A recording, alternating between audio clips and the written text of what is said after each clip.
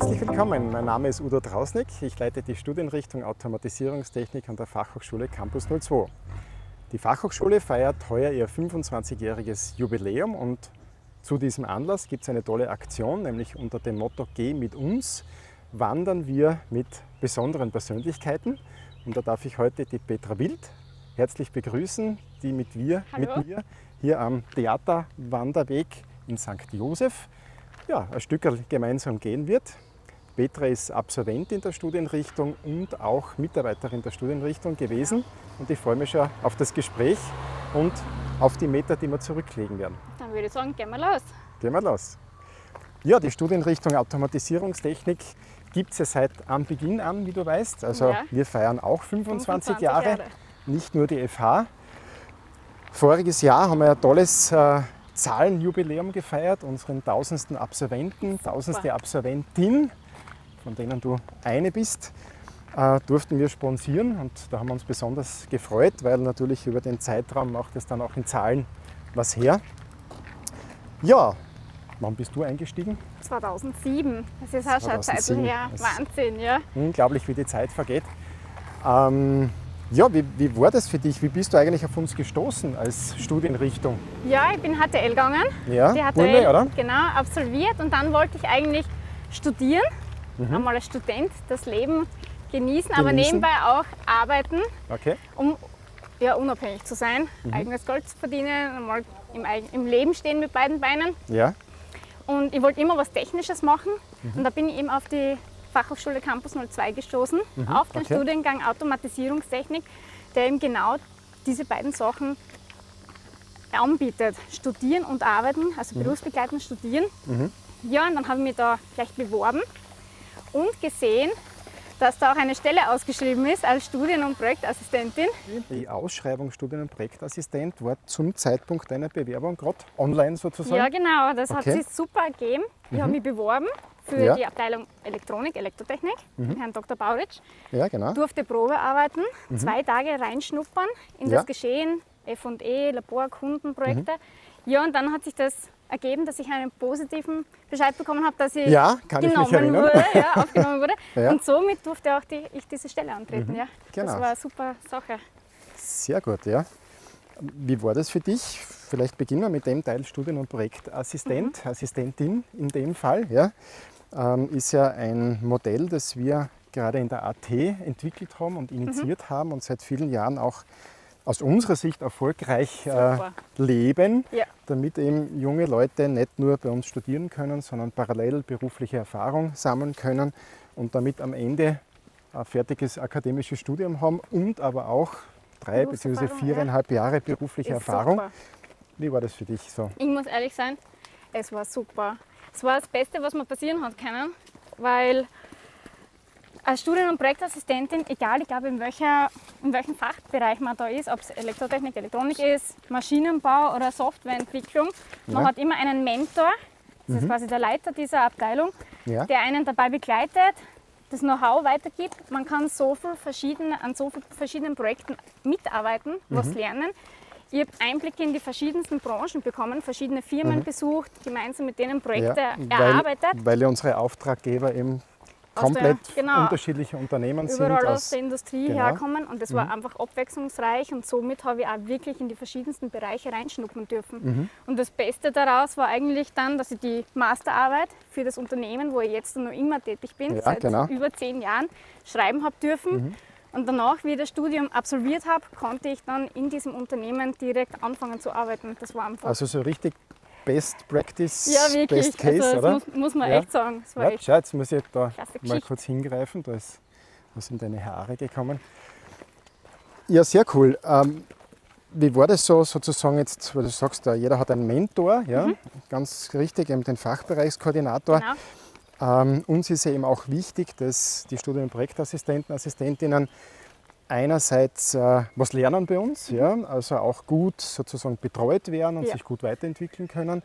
Andererseits aber auch natürlich das Gefühl haben, dass sie einen Beitrag leisten zu den ja. Projekten. Ja, also das jetzt nicht nur, nicht nur ganz einfache Tätigkeiten machen, sondern äh, ja, wirklich einen Beitrag leisten und vielleicht auch das Gefühl haben, im Laufe der Jahre immer mehr dazu beitragen Ja, zu können. Ja? Wie, wie hast du Fälle. das so wahrgenommen? Auf alle Fälle. Also mein erster Arbeitstag, den werde Ja. ich auch nie vergessen. Okay. Das war der 3.9.2007.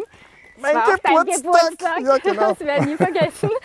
Und da waren wir gleich am ersten Tag bei einer Ja. Firma Ja, auf Besuch und haben quasi ein Kundenprojekt besprochen. ja, Und ich weiß noch, 14 Tage später oder waren es drei Wochen später, hat mich mein Mentor zu dieser Firma nochmal mitgenommen, um das Projekt weiter zu besprechen. Mhm. ja.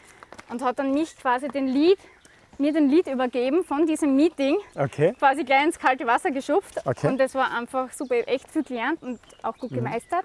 Und ja, man, man sieht einfach, dass man gemeinsam was schafft und auch Mhm. selber sich weiterentwickeln darf, selbst kreativ sein darf, eigene Ideen einbringen kann. Ja. Und das war wirklich eine, eine super schöne Zeit, an die ich gern sehr- zurückdenke, muss sehr ich echt cool, ja. sagen. Ja, Petra, wir sind ja am Theaterwanderweg St. Ja. Josef. Da gibt es natürlich auch solche Stationen. Die könnte man jetzt nutzen für eine kleine Pause, oder? Das hört sich gut an. Ha, probieren wir es. Vielleicht kommen wir darauf.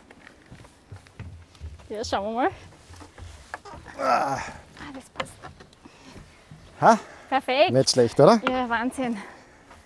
Aber irgendwie erinnert mich das an ein Hopperla. Es ist ein bisschen groß geraten, Ja, hätte ich so das Gefühl, oder? Also mein Tisch und Sessel sind zu Hause sind nicht ganz so Ich glaube groß. nicht am Lobby, ja. Äh, was du jetzt erzählt hast, hat ja alles super geklungen. Äh, freut mich natürlich auch sehr.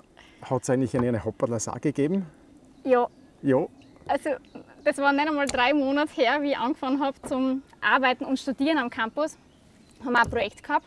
Das hat geheißen Projekt Fahrradschloss. ja, genau. Ich glaube, du kannst dich erinnern. Natürlich, ja. Und da haben wir Elektronik gebaut und einen Akku verwendet, um diese Elektronik eben zu versorgen.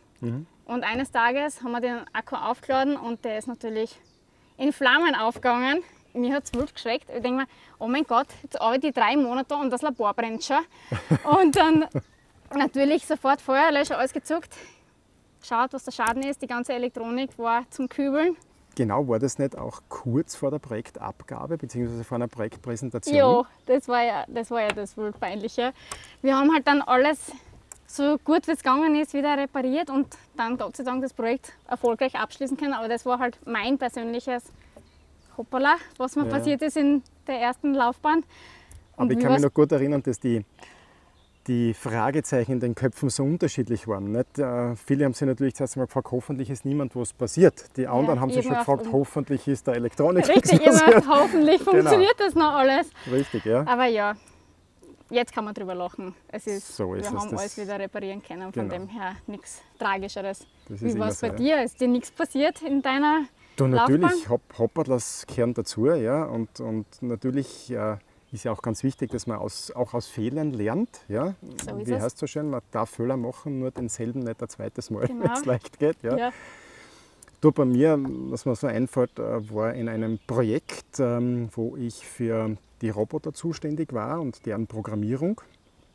Und wie es halt so ist, man ist dann abhängig von den Signalen, die man von den anderen kriegt. Ja. Und äh, der Roboter hätte sollen eine Flüssigkeit eingießen, ja, hat leider den falschen Befehl bekommen und hat das natürlich irgendwo verschüttet. Ja. Worauf natürlich vom ganzen Projektteam dann ja, entsprechende Stimmen kamen. Ja, ist eh klar, da draußen nicht, nee, so ein Ja, Blödsinn. Ja. Was macht mein Roboter im nächsten Moment? Natürlich rein zufällig. In der nächsten Bewegung, die auch falsch war, schnappt er sich ein Handtuch, das zufällig dort gelegen ist, und wischt die Im Pfütze Ernst? auf, die er gemacht hat. Ja. Also das war sensationell. Ja. Und dann waren alle erstaunt Ja, und hat keiner mehr was gesagt. Was macht er draußen jetzt? Ja. Respektive sein Roboter. Und das war echt sensationell. Wie gesagt, Ursache waren einfach eine falsche Bewegungsabfolge. Ja. Ja. Man kann auch nichts dafür. Aber ja, so ein, ein Hopperler ne? und, und ja, Lessons learned, so ist es, genau.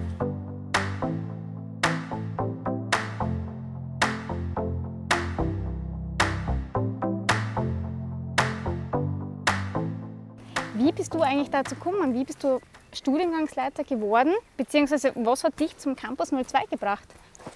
Du, gute Frage. Ähm, ich habe eigentlich seit Beginn meines Studiums an der Mhm. TU Graz, ich habe Elektrotechnik studiert, äh, von Beginn an nebenberuflich äh, gearbeitet als Selbstständiger. Okay. habe dort für Unternehmen Projekte gemacht, vor allem viel programmiert äh, und auch fast von Beginn an am Wifi unterrichtet. Okay. Und die Fachhochschule Campus 02 hat ja als Hauptgesellschafter die Wirtschaftskammer Steiermark. Und am Beginn, also 1996, wie wir gestartet sind und mit der Gründung 1995, haben ja einige Wifi-Mitarbeiter, Mitarbeiterinnen Ja. für die damals noch nicht FH ja, gearbeitet. Okay. Und ich habe da am Wifi im Bereich Elektronik vor allem unterrichtet, aber auch Robotertechnik, eben auch Automatisierungstechnik und habe da natürlich viele Leute gekannt. Und mein Vorgänger, der Alfred Zindes, hat damals den Studiengang geleitet und hat aber einen neuen Studiengang, nämlich die Wirtschaftsinformatik, Informationstechnologien, erarbeitet, eingereicht und dann hat es geheißen, er darf aber nicht zwei Studiengänge leiten. Jetzt haben sie einen neuen Studiengangsleiter gebraucht und dann wurde die Stelle ausgeschrieben. Und sie haben mich Gott sei Dank auch kontaktiert und mich Super. informiert, so wie ich Okay. die halt auch informiert habe, ja, dass da was gäbe. Ja, und ich habe mich auch beworben Mhm. um diese Stelle, weil es mich natürlich interessiert hat. Und ja, bin dann, äh, war zu der Zeit äh, Assistent an der TU Graz. Mhm. Äh, habe gerade eifrig an meiner Dissertation geschrieben.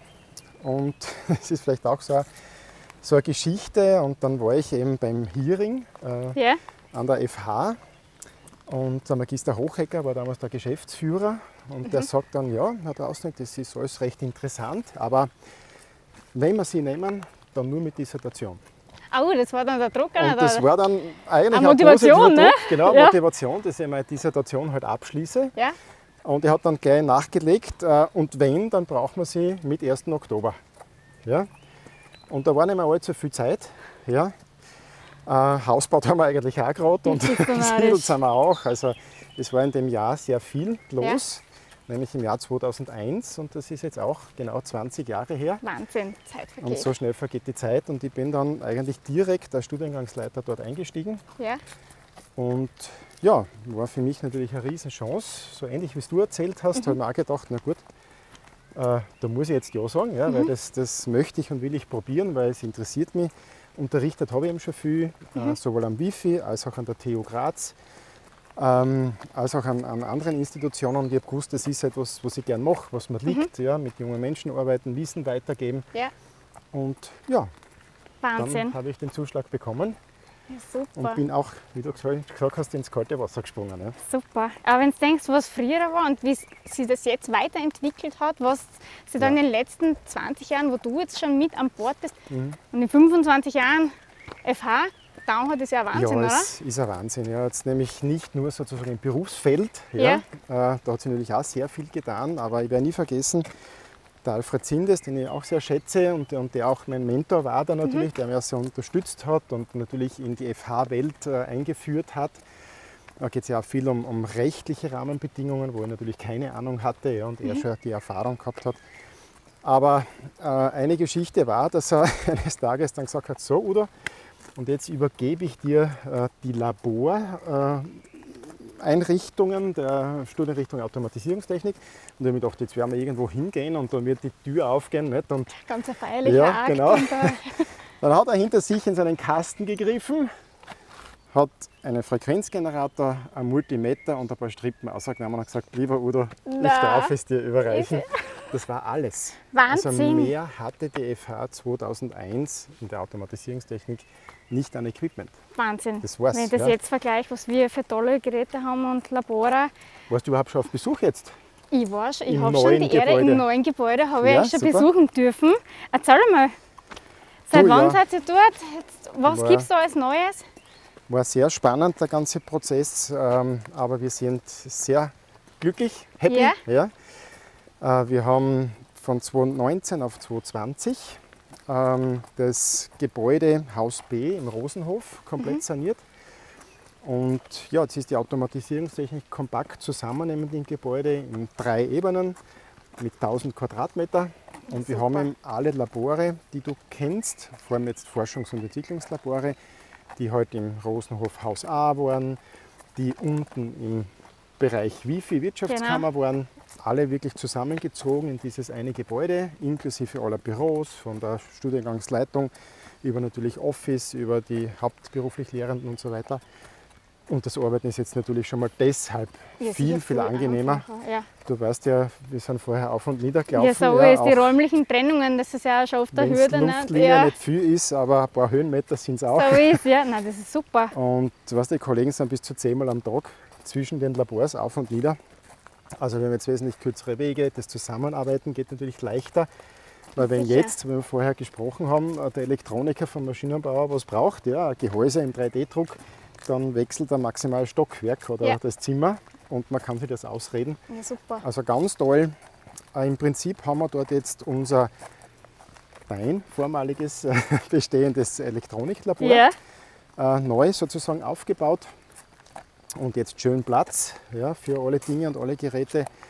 Wir haben dort dann das äh, Maschinenbau Robotiklabor, was wir früher im Keller hatten, wenn Genau. du dich erinnerst, äh, ohne Fenster.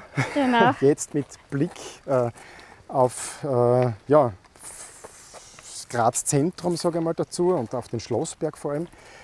Ähm, das haben wir erweitert ein bisschen durch ähm, mechanische Fertigung im Bereich Maschinenbau, was wir vorher nicht hatten. Das Ja. heißt, wir haben jetzt sogar einen Schweißplatz, wir können drehen und so weiter. Ganz toll. Und dann haben wir unser Rapid Prototyping Labor, 3D-Druck und Co., 3D-Druck, ja. wo es vorher auch im Keller mit kleinem Fenster Genau. war. Auf engstem Raum haben wir jetzt äh, einen schönen Raum und einen zweiten, wo wir jetzt die Nachbearbeitung machen können. Mhm. Das heißt ganz neu auch eine Sandstrahlanlage zum Beispiel, äh, explosionsgeschützte Zone, wo wir mit Wahnsinn. Chemikalien entsprechend arbeiten Okay. können. Äh, die entsprechenden Lagerstätten und Räumlichkeiten, die wir vorher ja, auch nur so halbwegs gut Mhm. erfüllt haben. Jetzt wirklich alles sauber mit Abluftanlagen ins Freie und so weiter. Und ja, und ganz neu dazu gibt es äh, zwei Labore, nämlich das, was bisher gefehlt hat in der dritten Säule, das Informatiklabor. Ja. Haben wir keines gehabt. Das ist wirklich neu. Äh, Und das EAS Lab, das steht für Energy Analytics and Solution Lab. Das ist ein Labor, wo wir uns im Prinzip mit elektrischer Energietechnik äh, und der Optimierung dazu beschäftigen.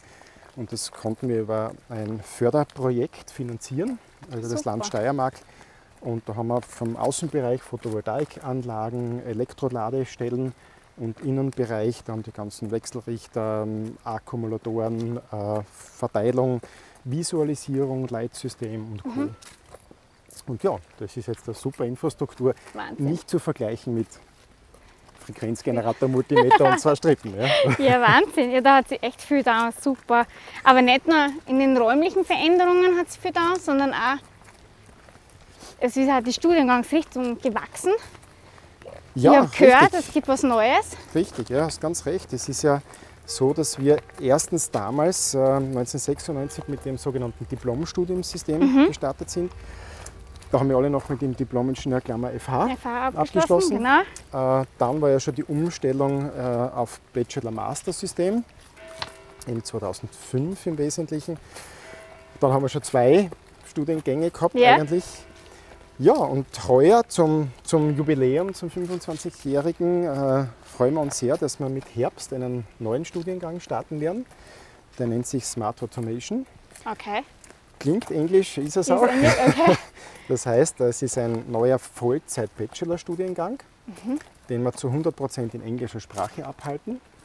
Äh, Von der Schwerpunktsetzung bleiben wir der Automatisierungstechnik treu, Ja. aber legen einen ganz klaren Fokus sozusagen im Bereich der Digitalisierung. Mhm. Das heißt vor allem Elektronik, Mikroprozessortechnik, IoT, IIoT Mhm. beziehungsweise Informatik, also Programmierung und Co. Und insofern ja, haben wir eine fachlich neue Ausrichtung, haben wir eine sprachlich komplett neue Ausrichtung und auch eben unser erster Vollzeitstudiengang. Das heißt die Qualifizierung von neuen zusätzlichen Mitarbeitern und Mitarbeiterinnen. Ja, Wahnsinn. Und ja, Super. die Bewerbungsphase läuft. Ja. Also bitte Werbung machen. Ja, unbedingt. Und ja, sind wir schon sehr gespannt, äh, Ja, da drücke die Daumen. wie er am Markt ankommt. Ja, Und ja, wie es dann ist mit sozusagen auch internationalen Studierenden, die Mhm. wir natürlich auch nach Österreich holen wollen, ja, mit internationalen Lehrenden. Äh, Du weißt ja, wir haben eh über die Jahre viele Kontakte aufgebaut, Natürlich, auch zu großes ausländischen Netzwerk. Universitäten. Genau. über Erasmus und so weiter. Jetzt macht sich's bezahlt, weil Super. viele davon, Gott sei Dank, haben großes Interesse, das bei uns unterrichten. ja, Äh, viele wollen auch wirklich zu uns vor Ort kommen. Das letzte Jahr mit Covid war nicht nur schlecht. Äh, manche sagen genau deshalb, ja eigentlich könnte ich das ja online auch machen oder zumindest einen Teil davon. Ja. Also da haben sie ja neue äh, Türen geöffnet, was das Arbeiten mit internationalen Lehrenden äh, betrifft. Und da freuen wir uns schon riesig drauf natürlich, weil es einfach wieder ganz was Neues ist letztendlich, was wir machen werden. Ja, super. Ja, das hört sich gut an.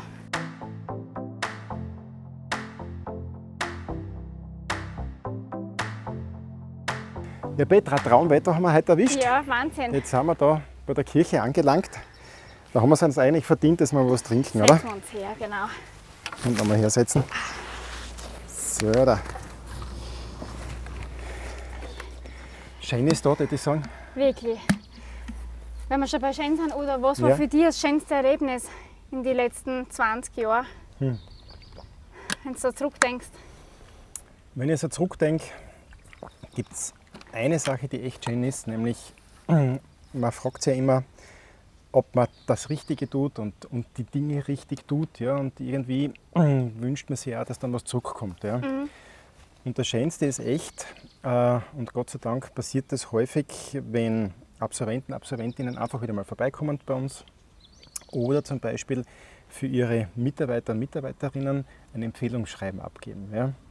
Und wenn ich dann in der Phase, wo wir halt die Bewerbungsgespräche haben, ja, so die ganzen Bewerbungsunterlagen durchschaue und mir alles durchlies und dann schreibt ein Absolvent und, und empfiehlt seinen Mitarbeiter, wie gesagt, seine Mitarbeiterin, muss ich sagen, das ist echt eines der schönsten Erlebnisse und das habe ich jedes Jahr, Super.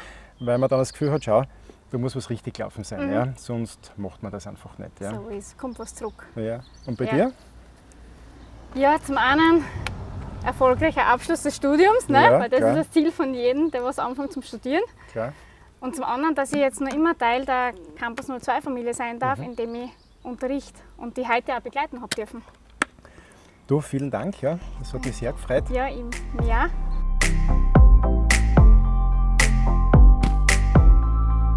Automatisierungstechnik. Standortsicherung. Noise Cancelling. Beste Erfindung, seitdem es Kopfhörer gibt. Plattformautomatisierungstechnik.